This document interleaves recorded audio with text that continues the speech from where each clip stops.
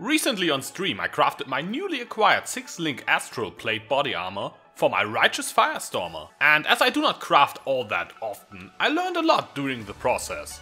In this video I want to share my newly gained knowledge with you on how to get a solid armor based 6-link, how to color the sockets efficiently, and then craft it into a good armor piece to use. First of all, to acquire my 6-link astral plate, I found the divination card Celestial Justicar. This drops in the Crypt level 2 in Act 2 Merciless and in the Crypt tier 1 map. This is probably not news to many of you, but I thought I still mention it for the few of you who might not know it yet. Most people seem to be able to drop at least one or two of those, investing several hours of farming into Merciless Crypt or running around 50 or so Crypt maps. I was not so lucky and ended up buying them all. But I was very patient, waiting several days to get good deals and I ended up buying 4 of the cards for 30 chaos each and 2 of the cards for 35 chaos each. For a total of 190 chaos or around 3.5 exalts in Talisman Hardcore. Once I had the 6 link it was time to color the sockets. For my Firestorm build I need 4 blue sockets and 2 red sockets. I used the Vorici Chromatics calculator to find out which is the best way to obtain those colors. Link in the video description. You put in the number of sockets of the item, the attribute requirements, and which colors you want the sockets to be.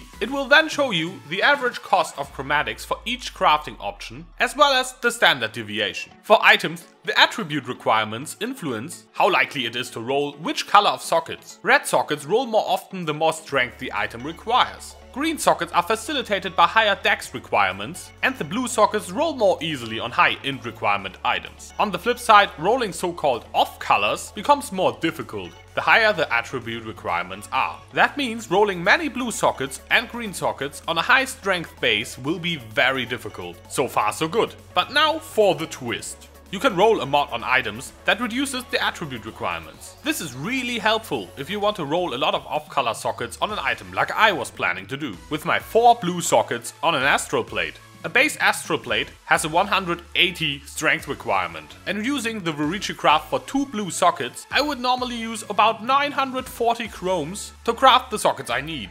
But if I get the 18% reduced attribute requirement roll, the Astral Plate now only needs 148 strength to wear. This reduces the cost of the 2 blue Vorici craft to around 770 chromes on average, which is quite a bit lower.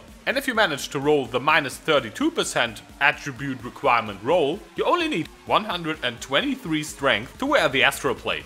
This reduces the average chrome cost to 630 and it also now makes it better to use the one blue Vorici craft. So you can save around 200 chromes doing this. Considering alterations and chromatics are worth about the same at the moment in Talisman Hardcore, it can be very well worth it to try and roll for a reduced attribute requirement roll on your chest piece if you want to roll a lot of off-color sockets. But at the end of the day it is still all luck based of course. And you can only try and put the odds in your favor as much as possible. From then on I scoured the chest piece, because it was now blue, to alch it and just use chaos orbs on it until I got a combination of mods that left me with a high life roll and a solid armor roll. You can also use scour orbs and alch orbs instead of chaos of course. Make sure you check for open prefixes to craft flat or increased armor, or open suffixes to craft strength, which gives you added life at half of its value when crafting an armor piece like this. This is the end result and I might recraft it at some point, as it is really good but not great.